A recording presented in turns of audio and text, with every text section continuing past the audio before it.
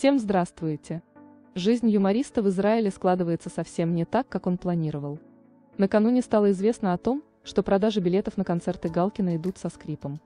В конце февраля певица Алла Пугачева и ее супруг Максим Галкин забрали детей и уехали в Израиль.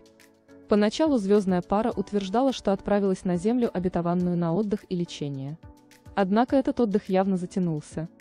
Сейчас экс-ведущий готовится к выступлениям в нескольких израильских городах, запланированным на лето. Между тем, жизнь в Израиле оказалась намного сложнее, чем ждал сам Галкин.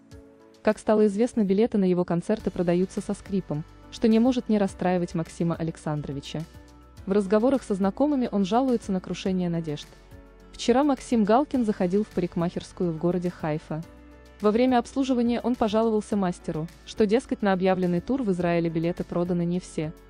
Максим был очень расстроен. Он явно не ожидал такого. Надеялся, что будет в Израиле очень востребован, а на него вяло реагируют.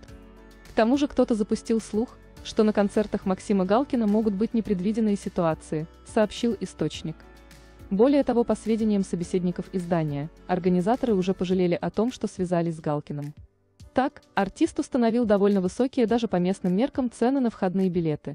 Стоимость на самые дешевые места начинается с 224 шекелей, более 5000 рублей. Поговаривают, супруг Аллы Пугачевой также надеялся на высокий фиксированный гонорар, в качестве аргумента приводя свои московские заработки.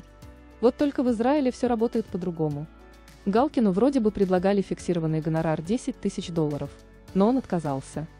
Ему, видимо, показалось, что такая сумма мала. А больше в Израиле не дают, разводит руками собеседник газеты. А у нас на этом все. Спасибо, что были с нами. Ставьте лайки, комментируйте, подписывайтесь на канал. Всем пока-пока.